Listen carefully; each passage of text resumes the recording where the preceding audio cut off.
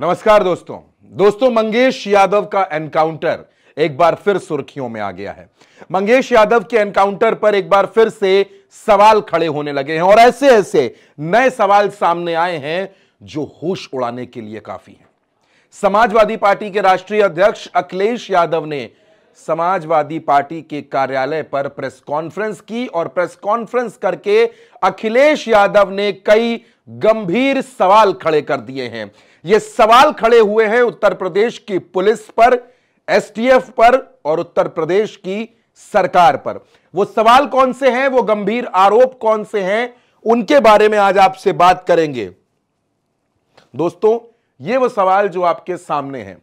अखिलेश यादव के गंभीर आरोप। अखिलेश यादव ने कहा कि ब्रांडेड कंपनी का महँगा बैग कहाँ से आया? मंगेश यादव के पास एक विदेशी कंपनी का बैग कहाँ से आया? और उस बैग के अंदर नए महँगे ब्रांडेड कपड़े कहाँ से आ गए? वो कपड़े बिल्कुल नए थे। वो कपड़े कहाँ से आए? अखिलेश यादव सवाल पूछते हैं, उस तस्वीर पर आपको भी याद होगी, जो डीके शाही की तस्वीर है जिसमें वो बाथरूम स्लीपर्स यानी कि फ्लिप फ्लॉप पहने हुए हैं। सवाल है कि आखिर चप्पल पहनकर एनकाउंटर कौन करता है? कैसे एनकाउंटर होता है? अखिलेश यादव ने पूछा कि आखिर यह कैसी होशियारी है?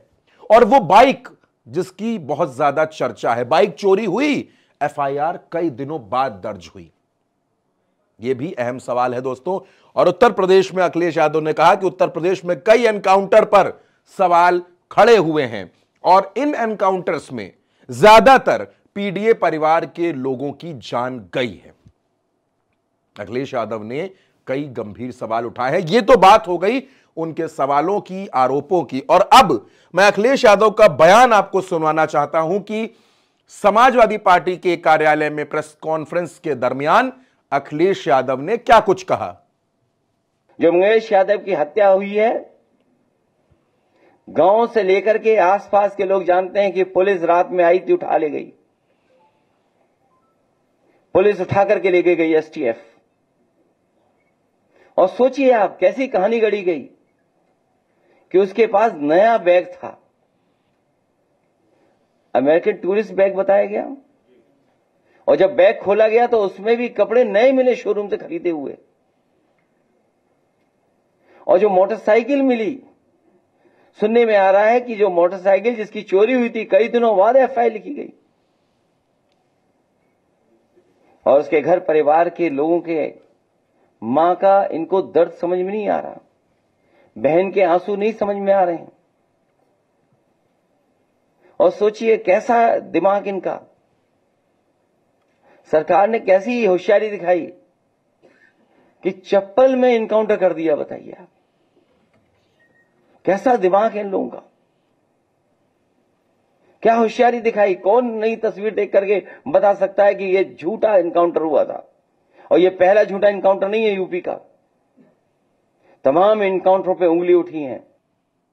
दोस्तों, ये अखिलेश यादव का वो बयान है जिसमें वो सवाल खड़े करते हुए नज़र आ रहे इसके अलावा अखिलेश यादव की आज की प्रेस कॉन्फ्रेंस में दोस्तों, अयोध्या का भी मुद्दा खूब उठा। अखिलेश यादव ने यह कहा कि 2027 में जब उनकी सरकार आएगी तो वो विकास की नई इबारत लिखेंगे और अयोध्या का भी नए सिरे से विकास करेंगे। दोस्तों, सवाल उठते हैं। दो अहम बातों पर आपसे बात करनी है। अखिलेश यादव।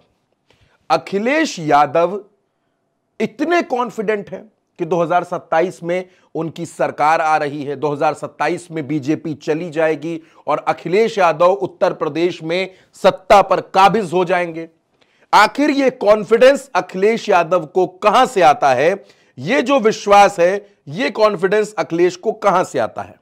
यानी दोस्तों, गुजरात लॉबी और उत्तर प्रदेश के बीच तमाम रसाकशी देखने को मिली। अखिलेश यादव कॉन्फिडेंट है कि 2027 में उत्तर प्रदेश की जनता समाजवादी पार्टी पर विश्वास करेगी। आप गौर कीजिए दोस्तों, चार जून के बाद अखिलेश यादव की प्रेस कॉन्फ्रेंस का जो तेवर है, अखिलेश यादव का जो मिजाज है जो अंदाज है, वो बिल्कुल बदला हुआ है। अखिलेश यादव अलग अलग मुद्दों पर आक्रामक हैं, उत्तर प्रदेश की सरकार को घेर रहे हैं। चाहे मंगेश यादव का एनकाउंटर हो, अयोध्या में जमीनों की खरीद फरोख्त में फर्जीवाड़ा हो, पेपर लीक का मसला हो, तमाम मसलों पर अखिलेश यादव बेबाकी से अपनी बात रख रहे हैं और उनका जो अंदाज है, वो भारतीय जनता पार्टी को बेचैन कर रहा है। दोस्तों, अखिलेश यादव जानते हैं कि गुजरात लॉबी 2027 में किसी भी कीमत पर योगी आदित्यनाथ को उत्तर प्रदेश में तीसरी बार कुर्सी पर नहीं बैठने देना चाहती। और अखिलेश यादव भी इस बात को समझ रहे हैं, बखूबी समझ रहे हैं।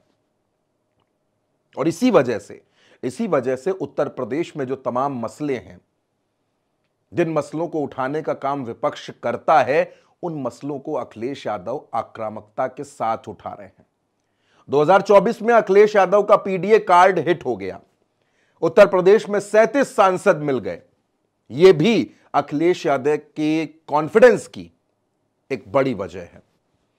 आज जिस अंदाज में अखिलेश यादव ने प्रेस कॉन्फ्रेंस की है, दोस्तों यह अंदाज बताता है कि उत्तर प्रदेश में जो सियासी घमासान है 2027 बाद में है दोस्तों, उससे पहले उत्तर प्रदेश में 10 सीटों का विधानसभा उपचुनाव है। उससे पहले अखिलेश यादव का जो तेवर है और अयोध्या के मुद्दों को उठाना मिल्कीपुर में उपचुनाव है, अंबेडकर नगर की कटहरी में उपचुनाव है दोस्तों। प्रयागराज में भी उपचुनाव है, यानी उपचुनाव भी अखिलेश यादव के फोकस में है। और वो अखिलेश यादव जिन्होंने अयोध्या की सीट जीती है, अवधेश प्रसाद जहाँ से चुनकर सांसद बने हैं अखिलेश किसी भी कीमत पर मिल्कीपुर की सीट को जीतना चाहते हैं।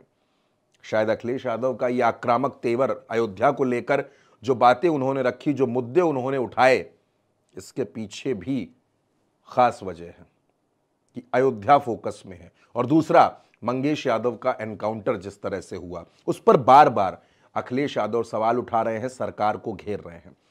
यानी अखिलेश यादव का कॉन्फिडेंस ये बताता है कि उत्तर प्रदेश में सियासी माहौल जिसका तापमान बढ़ा हुआ है, सियासी लड़ाई जो बढ़ती जा रही है, वो उत्तर प्रदेश में बड़ी दिलचस्प होने वाली है दोस्तों। और अखिलेश यादव इस लड़ाई में पीछे नहीं हटने वाले हैं, बल्कि पूरी ताकत के साथ मैदान में नज़र आएँगे।